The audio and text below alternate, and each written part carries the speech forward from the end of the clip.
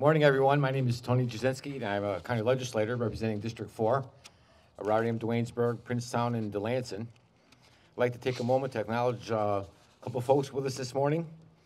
Our chair of the county legislature, Gary Hughes, is behind me. Gary? We're joined by Chris and Lauren Davis, the new owners of um, this wonderful facility. Ray Gillen, Chair of the Met- Schenectady Metroplex Development Authority. And I would also be remiss if I didn't recognize my esteemed colleague, legislator Holly Vellano, whose collaboration on this project proved crucial to its success. Regrettably, she couldn't be with us this morning because she had a prior commitment. Today marks a significant moment for our community as we gather to celebrate the grand opening of the Forever Bods Fitness Club at the former Duanesburg Y. When the Capital District Y announced the permanent closure of this facility in 2022, we knew that this amazing community asset would soon be at risk of deteriorating and slowly turning into an eyesore.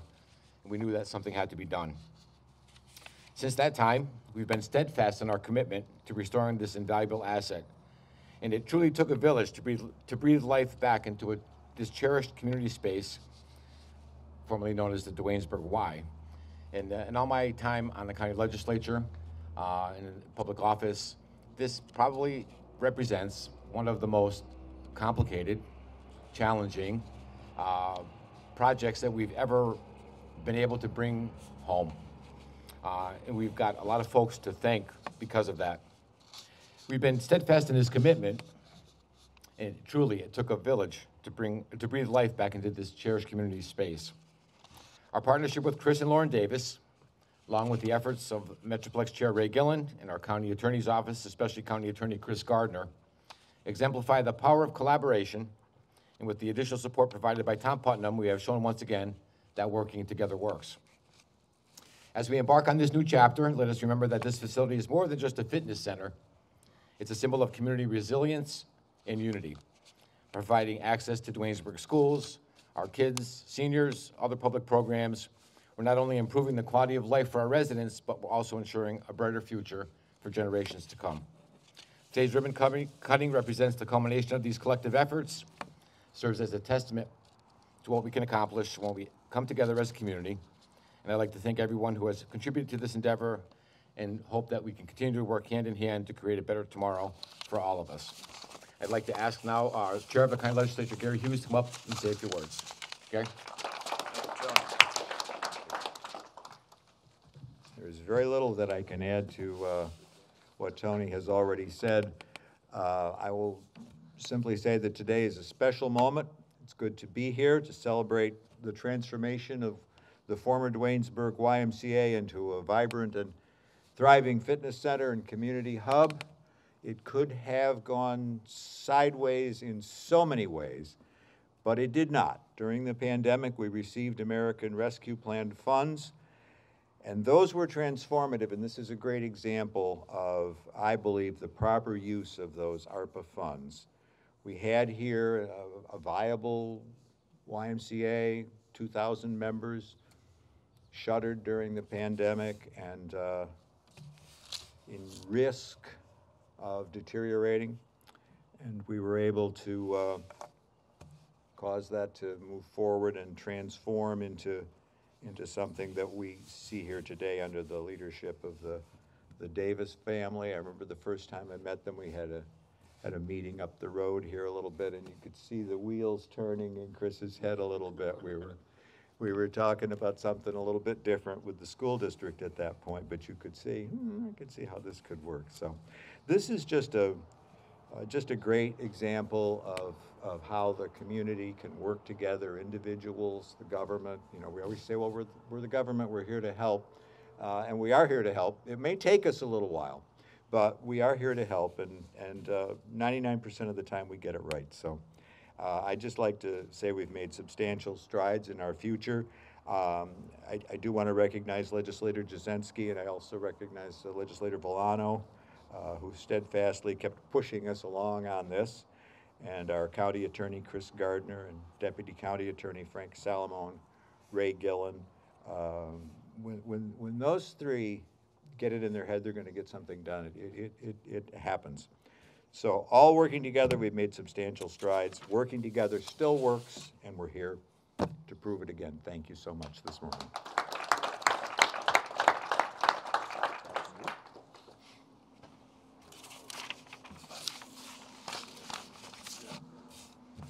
Mr. Davis, would you like to come on up? Lauren, Chris? Good morning. Welcome to the club. My name is Lauren Davis. This is my husband, Chris Davis. Um, it is with immense joy and pride that we stand before you today to inaugurate the grand opening, or grand opening weekend, of Forever Bod's Fitness Club.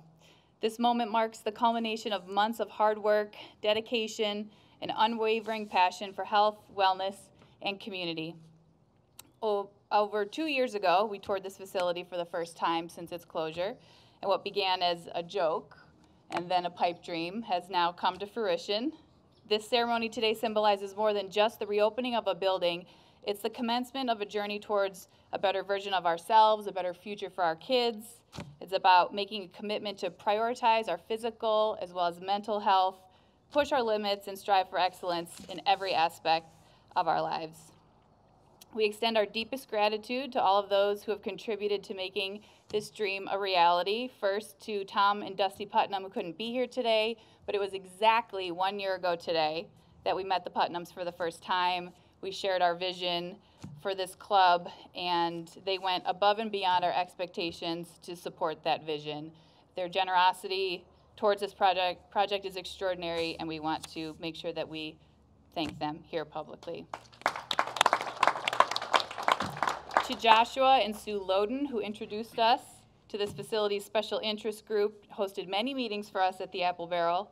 Group members including Wendy Nelson, Dennis Packard, Walt Silva, Kurt Pelton, Mike Walpole, Annabelle Felton, who never lost faith in finding a way to bring this building back to life. We thank you. A special thanks to the building's original owner and founder of the Duanesburg Area Community Center, Ken Romansky. His support and guidance through this process has been extremely helpful. Thank you, group. To Anthony Jasenski, Holly Vellano, Shane Bargy, Chris Gardner, Rory Fluman, and the entire Schenectady County Legislature for taking a chance on us, even after this big guy from Texas usurped the mic at a board meeting early in 2023 and introduced our intentions in a not so subtle way. We would not be here without your support to Ray Gillen and David Hogekamp and everybody from the Schenectady County Metroplex Development Authority. Ray, to say this project wouldn't be possible without your support is the understatement of the year. The transformative work you do for this county is inspiring. I'm almost done. Uh, to Bill Nordenhold and Lauren Barton from NBT, our attorney Michael Schultes, insurance broker Rob Smith, all of our friends and family for their support and never ending encouragement. To our team, Mike Finley and Riley Proctor, we shared our vision for this facility with you guys long before we had support or funding. Thank you for your patience and believing in this mission.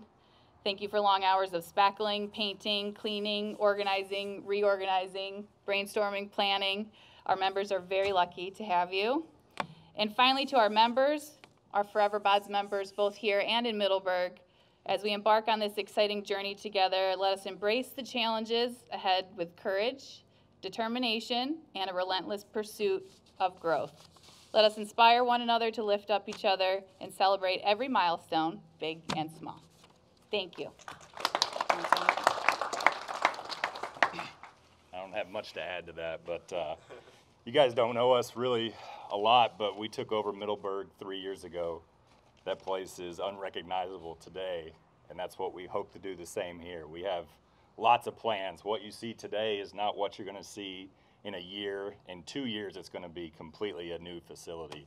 So uh, it's been said that the community might be too small to have a facility of this size. I don't believe it. I think the members here don't believe it.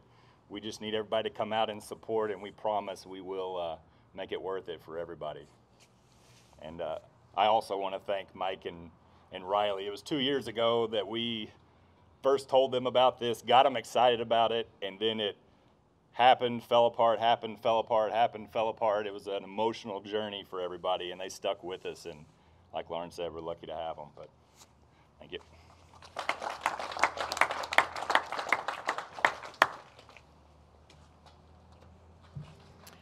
Uh, Join me in welcoming Ray Gillen, Chair Metro- Metroplex Development Authority, to the podium. Thank you. Thank you very much. This is a rare day when my name is associated with fitness and, and good, uh, good health habits. So I was questioning this name early on. I didn't really get the Forever Bods, but I get it now. It's about like a whole lifestyle and, and having a commitment to a healthy lifestyle. And that was Davis's vision, and it's come true. Thank you very much. Uh, we have a lot of people to thank. This, this building was closed. The Y walked away. Boo. Know. and th- these folks behind me would not stop. Tony, Holly from the county ledge, Frank, Chris, the whole leadership of the county said, This is a beautiful building. It was built in 2009 by BBL. It looks great. And it's just going to sit there empty. People like Dennis kept calling us from, uh, from out here. And, and there were different ideas the school district, the college, our community college, which is great. Uh, but in the end, we, we, we hooked up with the Davises, and it was the best thing that ever happened.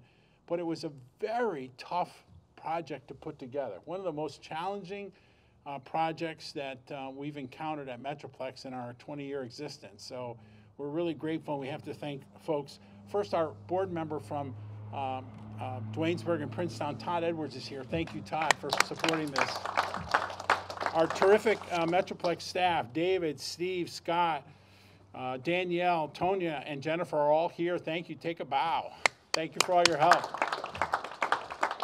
Todd Putnam and his family, you know, we had a funding gap, and the bank was very rigorous, and we thank NBT Bank, but the bank was very rigorous on the financials, and Tom Putnam wrote a $300,000 check and helped us close the gap. And I really wish he could be here today, but he's in Hawaii having a good time, so he's in a good place. So we're happy that nicer here today. But uh, thank you, uh, Frank Salamone and Chris Gardner from the county attorney's office. This was a very complicated closing, a very complicated deal to put together, and their support, like like Tony's and Holly's, was just unwavering.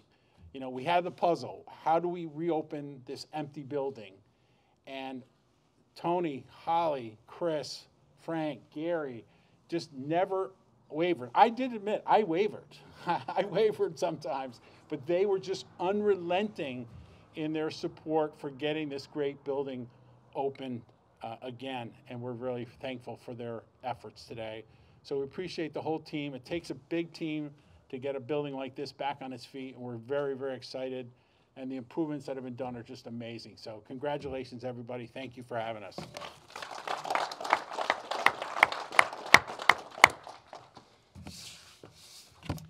So how about we cut the ribbon? The light. Let the sun shine. Step into the light. Say one, two, three. Hold your scissors. Count down. Okay. Three, two, one.